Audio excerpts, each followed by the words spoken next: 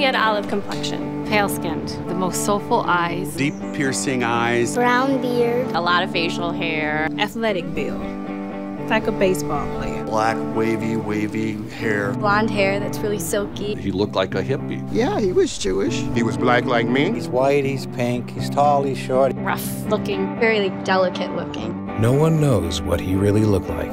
Come see Jesus as Rembrandt saw him, only at the Detroit Institute of Arts.